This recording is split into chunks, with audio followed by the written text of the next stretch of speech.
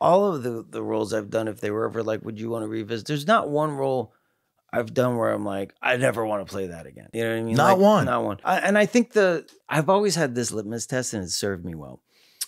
When I take on a role, I always think to myself, Am I going to be excited on my ride to work? Even the vampire movie, Yeah, even you would do it in a heartbeat. in a heartbeat.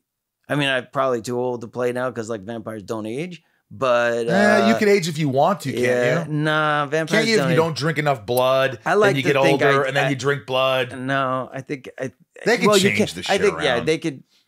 I think they could. I think you look good. Oh, thank you, man. It's all in the eyes. Yeah.